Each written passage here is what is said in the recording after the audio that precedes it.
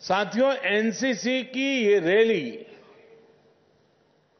one world one family one future की भावना को निरंतर मज़बूत कर रही है। 2014 में इस रैली में 10 देशों के कैडेट्स ने हिस्सा लिया था। आज यहाँ 24 मित्र देशों के कैडेट्स मौजूद हैं। मैं आप सभी का और विशेषकर विदेशों से आए सभी यंग कैडेट्स का अभिनंदन करता हूँ। मेरे युवा साथियों, इस वर्ष देश पचहत्तरवां गणतंत्र दिवस मना रहा है।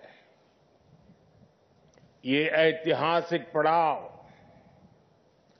देश की नारी शक्ति के लिए समर्पित रहा। हमने कल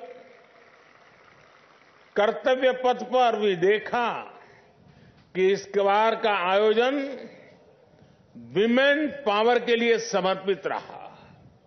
कभी बेटियों की भागीदारी सिर्फ़ सांस्कृतिक कार्यक्रमों तक सीमित रहती थी। आज दुनिया देख रही है कि भारत की बेटियाँ जल, थल, नभ और अंतरिक्ष में कैसे लोहा मनवा रही है।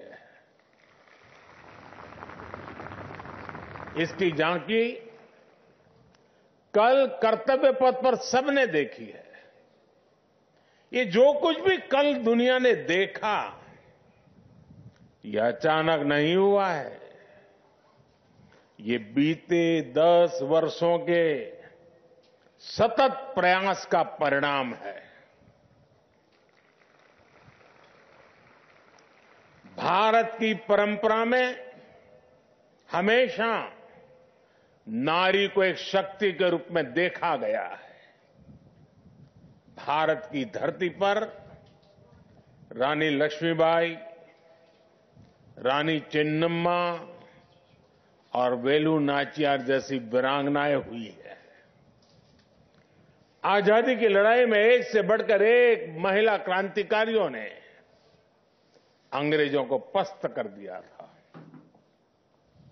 बीते दस वर्ष में हमारी सरकार ने नारी शक्ति की इसी ऊर्जा को निरंतर सशक्त किया है।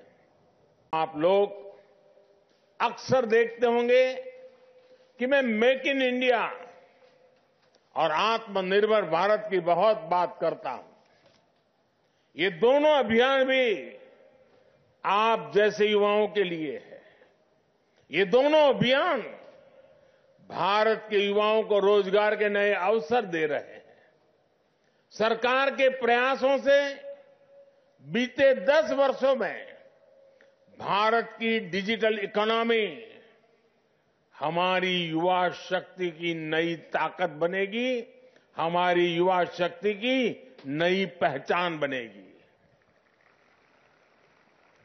भारत भी अग्रणी डिजिटल इकोनॉमी बन सकता है।